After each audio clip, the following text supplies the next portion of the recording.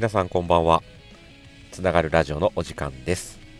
お相手は松山秀和です。どうぞよろしくお願いします。この後6時までの約30分間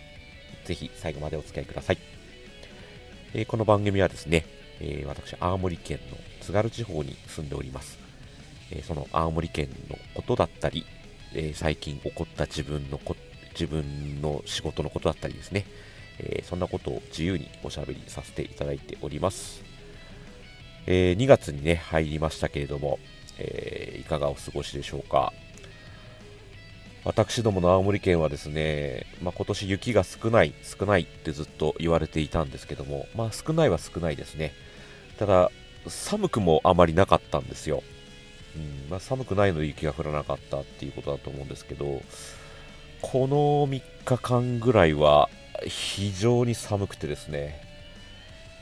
あの1月に大寒ってね、あの二十四節気にありますけども、まあ、時期的にも1年で一番寒い時期を、えー、迎える、えー、そういう時期だと思うんですけどね、やっぱり寒くなりました。本当に寒くて、いかんせんその体がちょっとこう真冬仕様になってなかった分ですよね。この急激な寒さに追いついておらず えー、風邪をひきそうになっております。そんなですね、えー、日が続いてるんですが、まあ相変わらず雪は少ないですね。うん、平年だともう積雪100センチまではいかないぐらいかな、なんですけど、本当多分今15、6センチあるかないかぐらいな、えー、それぐらいの積雪量なんですよ。本当に少ないです。えー、だいぶ楽な冬を過ごしてるんですが、まあそうは簡単にね、冬も通り越せず、えー、この寒さが来ているというような状況でございます。冬といえばですね、あのー、この2月は、えー、いろいろ雪祭りというか、その冬のならではのお祭りっていうのも、青森県各地では開かれておりまして、えー、私の地元である青森県弘前市ではですね、えー、雪灯籠祭りという、え、お祭りが、え、もうすぐ始まりますと、えそういった時期になってまいりました。まあ、どういったお祭りかと言いますとですね、えよくあるようなこう札幌の雪祭り、えそれをこう皆さんこう想像されるのかな、雪祭りというとですね、あの大雪像みたいなね、大きい雪をね、使って大きな雪像を作るですね。なんかキャラクターを作ってみたり、まあ、映画のなんかモチーフ使使作ってみたりとか、まあ、いろんな様々ですね、団体さんによって、えー、思考を凝らした、えー、雪像作りをこうしていく雪まつり、えー、ポピュラーなお祭りだと思うんですが、あの、似ております、雪道路祭りもですね、えー、やっぱ名前についてるだけあって、まあ、灯籠ですよね。えー、雪で灯籠を作る。あのよく神社なんかにある、えー、石で作った石灯籠なんてありますけどね、それと同じようなものをちょっと作雪で作るっていうことをですね、えやってますで。今年はちょっとやっぱ雪がだいぶ少ないということなので、なかなかその雪道路祭り、例年並みの開催はちょっと難しいようなんですね。縮小して開催するということになってましたので、まあ、その雪道路祭り、いつもだったらですね、その小学校のこうクラス単位まではいかないですけど、えー、学校単位みたいな感じでですね、1個子供たちが作ったりとか、あとは、えー、青年会議所の皆さんが作ったりとか、あとは企業ですね、会社さんも作ったりっていうのもあってですね、えー、いろんなこう、これも思考からした雪道路がですね、えー、弘前公園っていうその公園の中に、え立ち並ぶと。いったお祭りでですね、え夜になるとこうろうそくの火とか、えー、まあ、ライトアップもあってですね、え非常に幻想的な世界観もこう見れるといったお祭りになってますのでですね、ちょっと今年はなかなか、えー、こう、いつも並みの盛り上がりはなかなか難しいのかもしれませんけどね、えー、まあまあ雪祭りというか、この雪道路祭りはですね、まあ、冬ではなければ当然味わえないというお祭りになってますので、えー、よろしければですね、まあ、ホームページでなんか調べてみたりとかですね、あの雰囲気だけでもですね、楽しんでいただけたらなと。まあ、もちろんお越しいただければめちゃくちゃ嬉しいんですけども、はい、えー、弘前にはそういった式で、えー、春、夏、秋、冬、それぞれにお祭りがございますのでですね、えー、ぜひチェックしてみてください。この番組にはですね、メッセージもお受けしております。メールアドレスは 797-fm ギノ 1.com 797-fm ギノ 1.com です。すべて小文字になっております。はい、それでは、え2月初めのつながるラジオも始めていきます。よろしくお願いします。この番組は青森県弘前市で創業46年、弘前アルミ証券の提供でお送りいたします。ガラスが割れてしまった。内窓をつけたい。玄関ドアをリフォームしたい。カーポートを設置したい。家の中に手すりをつけたい。お家の困りごとは何でもお任せください。この道一筋の職人が皆様のお悩みに寄り添います。今なら窓のリノベーションが補助金を使ってできる可能性があります。詳しくは弘前アルミ証券ホームページ、Facebook ページからお問い合わせください。お届けしておりますのは、つながるラジオです。お相手は松山秀和です。よろしくお願いします。はい、えー、ということでですね、今日は、えー、ちょっとまたお話ししていきたいなと思ってるんですが、先日ですね、東京に行きまして、ちょっと久々に東京に行った感じになりますかね。いつ以来かな ?9 月ぐらいに行ったので、ちょっと、まあ、ちょうど半年ぶりぐらいに行ったんですかね。うん。で、そこで、まあ、いろんな方にお会いしたりとかもしたんですけども、まあ、その時のお話をちょっとしていきたいなというふうに思います。はい。えーとですね、まず東京2泊3日ぐらいで行かせていただきまして、うん。で、えー、いくつか目的があってですね、まず1つ目の目的は、えー、メタバースですね。メタバース。まあ、よく聞く言葉とだと思うんですが、えー、メタバースのですね、まあ、展示会っていうんですか？あのー、よくこう、東京ビッグサイト、コミケなんかが有名ですよね。えー、年始あたりにこう、めちゃくちゃ人が並ぶ、ああいうイベント催事をやるような場所ですよね。ビッグサイトにて、えー、メタバース展みたいなものですね、そういう展示会がございまして、まあ、そちらにちょっとお邪魔しました。うんで結構ですね、まあ、最近そのメタバース仮想空間なんてことはよくよく聞くこと聞く言葉になりましたけどもあの、まあ、仕事とかには全く関係なく完全に趣味の域でして、えー、興味を持っております、うん、であのなかなかねこうこういう地方に住んでますと、えー、ネットで取れる情報っていうのは非常にあの多いんですけれどもやっぱリアルで、えー、見て触ってみたいなことはですねないものでやっぱこういうのって東京とかね、やっぱ都市圏に行かないと、えー、目に触れることがないわけなんですよね。なので、まあちょっと刺激を求めに行きたいなというのも一つあってですね、あのちゃんとこうリアルの、えー、刺激を求めに行きたいなというのがあって、えー、そのメタバース店にですね、ちょっと行くことを計画しまして、え、行きました。で、あの、やっぱり行ってみてなんですけど、メタバースってね、なんかこう、まだあまり日常にはなってないじゃないですか。うん、僕らの、えー、日常生活に登場しているものにはまんまなってないので、まあまあ、ごくごく一部の人が、えー、使っている技術なのかなという感覚だと思うんですけど、まあ今回、結構何社ぐらい、100社はなかったかもしれないですけど、まあ、かなり多くのですね、えー、会社さんが、そのメタバースとか、あと VR、うんまあ、これはね、あのバーチャルのこうゴーグルをつけてなんか見たりするっていうので、えー、VR も一緒に展示してたんですけど、まあ、かなり会社さん来てましてですね。で特徴的だったのがあの自治体ですよね。自治体体さんが結構メタバースとかにもやっぱ前のめりのところもあるということで、まあ、その展示の中でもその行政さんとお取り組みされてるっていうのも結構多くてですね、うん、あのあなこういうのってやっぱ浸透してくるんだろうなっていうそういう前兆というか兆しはすごく感じましたね。うん、でえー、すごく若い会社さんというか、やっぱこう、新しい技術ですので、えー、そういうのに興味を持っているのがやっぱ若い方が多いみたいで、出展されている方のやっぱ年代層も非常に若い若いのが印象的でしたね。うん、で、面白いなと思ったのがですね、えー、宇宙技術技術ですよね、宇宙。まあ気軽に宇宙に行けるまだ世の中にはなってないじゃないですか。まあ、民間人が宇宙に行けるようにはだいぶなってくるんでしょうけど、ね、あの、前澤友作さんとかがね、あの言ってましたけど、えー、同じような感じでね、えー、民間の方が、まあ、行けるようにはお金を出せばなってるはものの、まあ、私みたいな庶民にはですね、まだまだ手が出ないというところで、その宇宙体験をできるっていうのをメタバースで提供している会社さんがあってですね、うん。でそれはもういわゆるゴーグルをつけて、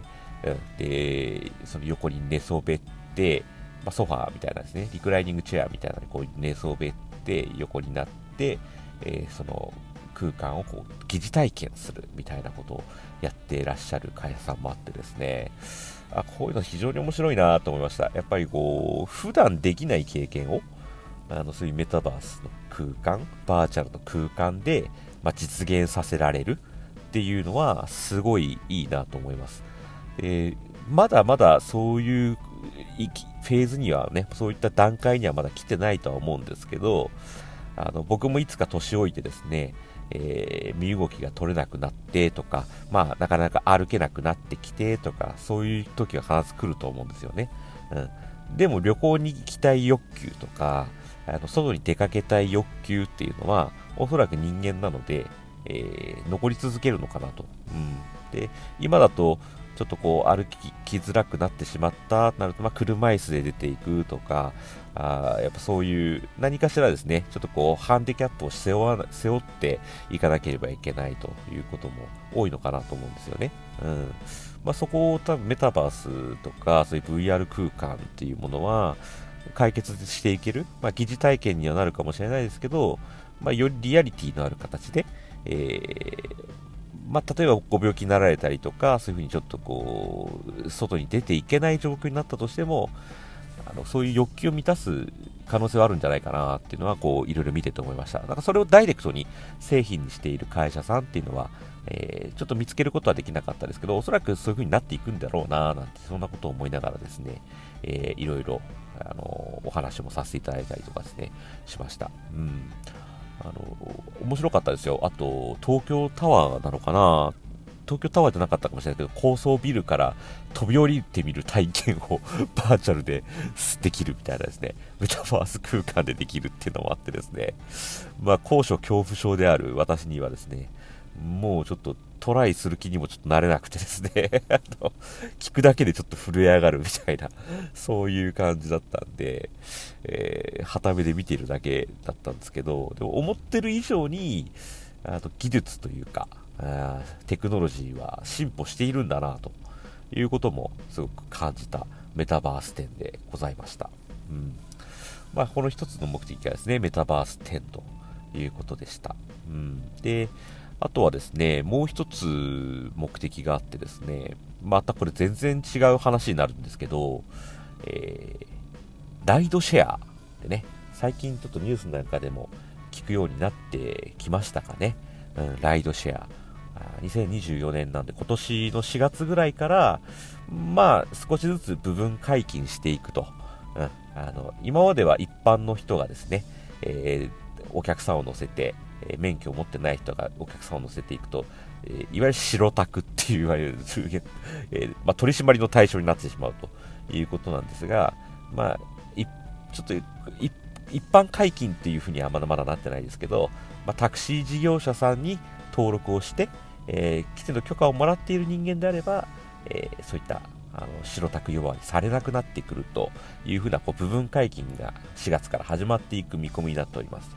まあそういった感じでですね、報道なんかもあるんですけども、えー、ライドシェアですね。うん、で、もうちょっと広く言うとですね、まあ、モビリティ、まあ、あの移動する手段のことをモビリティなんて呼んでるんですけど、まあ、平たく車だけじゃなくて、えー、もちろん電車もそうですし、えー、あとは東京とかね、まあ、都会なんかでよく見る、えー、キックボードとかですね、うん、あのあとはレンタサイクルなんかもそうですよね。それもモビリティに入ってきます。まあ、移動手段の一つですよね。うん、で、それだけじゃなくて、こう荷物の輸送っていうのもですね、まあ、講義の意味だと、まあ、モビリティに入ってくるようでして、うん。だからいろんなそういうモビリティのサービスをこれから手掛けている、今手掛けていらっしゃる、えー、そういう会社さんが一堂に会するイベントが実はございまして、まあちょっと私もひょんなことからなんですけど、まあ、たまたまそういったイベントがあることを知りましてですね、うん、モビリティってなかなか地方住んでるとですね、やっぱ非常にこう深刻な問題でして、うん、沖縄なんかもそうかもしれませんよね。えー、車社会ですよね。うんまあ、地方はどこ行っても車社会、車がないと生活できないと。で、代わりの交通手段では、えー、まあ、電車があったりとか、まあ、路線バスがあったりっていうことになると思うんですが、まあ、その路線バスもですね、えー、なかなか乗る人が、えだんだん少なくなってきておりますと。ま、人口減少もそうですし、え、ドライバー不足ということもですね、ま、叫ばれておりまして、え、そもそも乗る人はいてもドライバーさんがいないのでバスを出せないそんな事態になってしまっているというのもですねこれは深刻な問題で、えー、赤字路線っていうことだけではなく、まあえ残念ながらそういう減便しなきゃいけないとか、まあ、路線を廃止しなければいけないとそういうふうな状況に陥っているということらしいんですよね。うんまあ、これはちょっといかんいかんということで、えー、何かしらで解決していこうじゃないかということで、いろんなサービスを今開発している、えー、会社さんがたくさんいらっしゃると、そういうふうな状況になっております。はい。で、ここは大体12、3社ぐらいだったかな。うん、あの、いろんなこうサービスをですね、手掛けて、先ほど申し上げたような、え、レンタサイクル事業もあれば、えー、いわゆる相乗り、えー、タクシーだけじゃなくて、こう、相乗り事業ですよね。うん。でそれをこうマッチングしていくサービスなんかも手がけてる方もいらっしゃればあとはこう完全にもう本当に交通インフラとして、えー、モノレールよりも安くできる、うんえー、新たなこうなんかスキー場にあるなんですかねゴンドラっていうんですかああいうのに近い形で、えー、あと新たなサービスをこう作ろうと、うん、まあ、交通インフラでねあのモノレール作るっていうのも大変ですし電車線路引くなんでもっと大変ですし、もっとこう、安く、えー、交通インフラを敷ける仕組み作りをされている業者さんもいらっしゃったり、会社さんもあったりしてですね、あすごく面白い業界だなというふうに思いました。うん、で、こちらもかなり、えー、若い方もいれば、まあ、いろんな業界、異業界から進出されている方もいらっしゃいますし、えー、東京だけじゃないと。やっぱり地方の方がこういった問題って深刻ですよね。うん、ですので、地方の会社さんが意外と多いというのもですね、非常に面白いなと思って見てまして、うん、ですごいこう地方のこうなんとか移動手段をですね解決したいっていう熱い思いをですね、えー、感じる空間でしたね、あのー、ほとんど社長さんの方がですねプレゼンテーションしてくださって、えー、皆様のこうサービスっていうのはどういうもので、えどういう機会があってどういうふうに今現在も使われているかなんてことをですね、えプレゼンテーションしてくださって、まあ、あの1社4分ぐらいのですね短いプレゼンテーションであったものの、あすごくこう熱を帯びたというか、うん、熱い空間だなというふうに思いました。で私も実際この弘前に住んでおりましてですね、えー、つい先日まであの地元の大学、国立大学の弘前大学っていう大学がありまして、まあ、そちらで少し、えー、授業のですねあの非常勤講師をあのお手伝いさせていただいたんですけれども、まあ、学生さんと直にお話をする機会があった中で、え、やっぱ学生さん、ね、車を持ってない方非常に多くて、まあ、当然ですよね、なかなかこう車必要じゃない方も必要な方もいれば必要じゃない方もいらっしゃるし、まあ、お金もかかる話だし、うんえ、簡単にやっぱ学生さんってそういうのね、車をすぐポイって買うような、なかなかこう、ふうにはなれないなとは僕も思ってまして、えー、移動手段がですね、こういった地方都市だと車がないとなかなか行きたいところに行けないと。いうのがですね、やっぱ切実な声としてやっぱあって、うん、もっと移動手段とか公共交通が発達したら、発達していたらもっとこんなことができるのにななんていうこともですね、えー、学生さんが非常に口々におっしゃってましたので、えー、そういった意味でもモビリティの、うん、この可能性っていうのはですね、まあ、非常に多分この日本の今後の社会ではあるんだろうなと思いますし、えー、高齢化社会、高齢社会も進んでいきますので、えー、なかなか車をですねずっと運転し続ける世の中にもなか、まあ、難しいだろうと、いつか返納しなきゃいけないときに代わりになる交通手段のもやっぱ必要だよねということも、そういった文脈でもやっぱ必要なのかなというふうに思いましたね。うん。まあ、モビリティとですね、メタバースということでですね、まあ、いろいろ、えー、まあ、見てきましたし、あとそれ以外にもですね、えー、ちょっと時間繰り合わせて、えー、お会いできた方もたくさんいてですね、あの、非常にあの2泊3日ではありましたけど、密度の濃い時間をですね、過ごすことができました。はい。えー、この東京、また2月もですね、ちょっと東京に行く予定がありますので、えー、またいろんなものをちょっと吸収して帰っていきたいなっていうふうに思ってます。はい、ということでエンディングのお時間です。毎週土曜日、あ、間違えました。毎週日曜日、5時半からは、つながるラジオをお届けしております。え YouTube でもですね、つながるラジオと検索していただけますと、えー、動画でアップロードしております。過去のアーカイブ、えー、ご覧いただくことができますし、YouTube の動画の画面上にある QR コードを読み込んでいただきますと、えー、私がですね、毎日、え情報発信をしております。え連続投稿しておりましてですね、今400日を超えておりまして、えー、まあ、拙い文章ですけども、あの、何かしらちょっと、あのお役に立てればという思いでですね、ちょっと書いたりしてますので、え、よろしければフォローいただいたり、ご登録いただいたりですね、いいねボタンを押していただけたら励みになりますので、ぜひぜひよろしくお願いします。はい。えっ、ー、と、来週はですね、ちょっと久々にゲストをお迎えして、えー、お届けしたいなと思っております。えー、利益倍増パートナー会計士でいらっしゃる伊藤直也さんお迎えしてですね、えー、一緒に、えー、楽しくお話、おしゃべりできたらなというふうに思っておりますのでですね、えー、ぜひぜひ、えー、来週もお聞きいただけたら嬉しいです。はい。それではまた来週ですね、日曜日5時半にお会いいたしましょう。ありがとうございました。失礼いたします。